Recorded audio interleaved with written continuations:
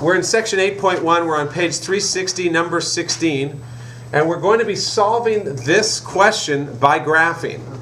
As we just talked about, to find a solution of a system of equations, by graphing, you need to graph the equations and then find out where they cross. This is all section 7 or 8.1.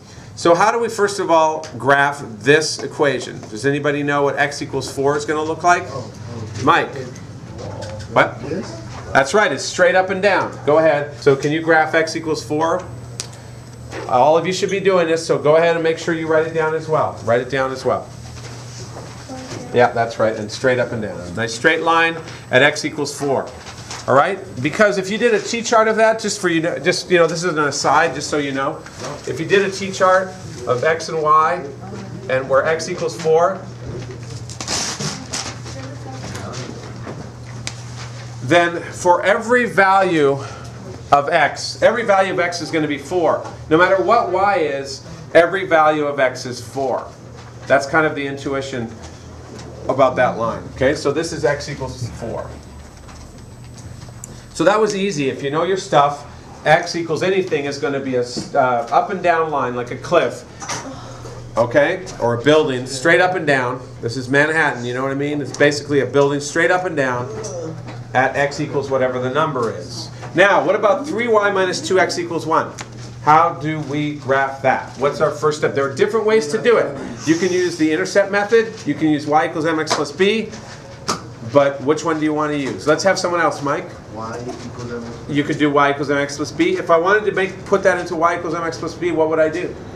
David, Uh, you subtract both sides subtract what? You want to? Well, first of all, we want to solve for y, right? Oh yeah. Add 2x. Go go ahead. Add 2x with the blue pen. two x by both sides and then And then what? Divide by. three That's right. So we get 3y equals 2x plus 1. Everybody write it down. 3y equals 2x plus 1. Okay, 3y equals 2x plus 1.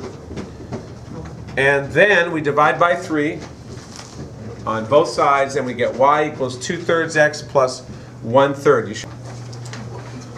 So now, what is m equal to here? Jessica, what's, what's the slope of this line? Um, two thirds. Good, so put m equals 2 thirds. And Ashley, what's the y-intercept? What we call b? Can't see it? All right. Someone else? Ian, what's our b or our y-intercept? One. Yes, one third. Good job. b equals one third. So now we've got the elements that we need to be able to graph this. Don't worry about the fractions.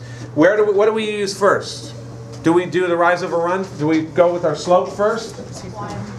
Y-intercept first. Okay, well, where's one third? Where's that going to be? Let's draw a grid here. One, two, three, etc. Where's our one third going to be in terms of a point for our y-intercept?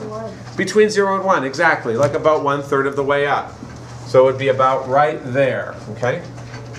So to finish this off, again, we started with one third as our y-intercept.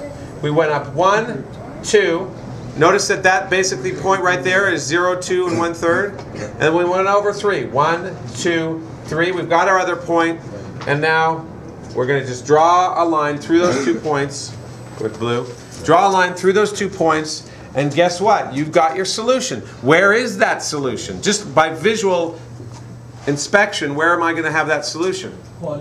Right where? Here? Yeah. Jake? Will? where- where- Where's our solution? Where- Go up. Are they? Oh. Right here? Yep. Oh, The intersection point right there is our solution. Go ahead and put solution. The word solution is, it's exactly where the two things cross. Okay? And in this case, we're going to estimate it. What's our estimate of where that is? Lucas, come on. Jonathan. What's our estimate of where that is? Is it the point one one? Is it the point two three? What is it, David? It's going to be 1, 2, 3, 4, and y is going to be what? Thank you. All right, so uh, as we were talking about, this is 4 over. This point right here is 4 over because 4x is on the, the line x equals 4. And then it's up. Well, you have to estimate it. Right here, it looks like it, this is 2 and 1 third, so that's probably about 3. And we'll put in, the solution is 4 and 3. And that's our estimated solution, okay? This right here is our estimated solution. the point of intersection. Any questions? On page 360, number 17, we've worked out another question. The question is find the solution for y equals 3x and y equals negative 3x plus 2. y equals 3x and y equals negative 3x plus 2. You've got to graph both equations, and the way that you do it is by finding, or one of the ways you do it, is by finding the y-intercept and the slope for each equation. In y equals 3x, there's no number here where the b would normally be, but it shouldn't bother you. That just means that b equals 0. There is no number, there is no value for the y-intercept. It means it's at 0. The slope is 3 because y equals 3x, mx plus b. The m is 3. In this more uh, standard looking one, y equals negative 3x plus 2, it's pretty obvious that m is negative 3, which is actually negative 3 over 1, and b is equal to 2. Just line them up and there you go. When we go to graph that, we'll graph this line first. Your y-intercept is 2, so we've got a point there. And then we go down 3, because it's negative 3 over 1. 1, 2, 3, down 3, and over 1. We have our second point and our red line, which we'll label y equals negative 3x plus 2. That's one graph of one line.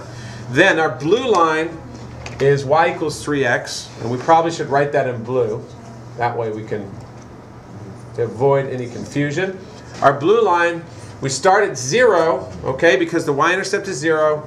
We go up 1, 2, 3, and over 1. And there's our second blue point. We draw a line, and the solution is the place where they cross, which we estimate here as 1, 1, which is going to be pretty darn close to whatever other way you figure this out. Does anybody have any questions? Yes, sir. Got the idea? Thank you so much.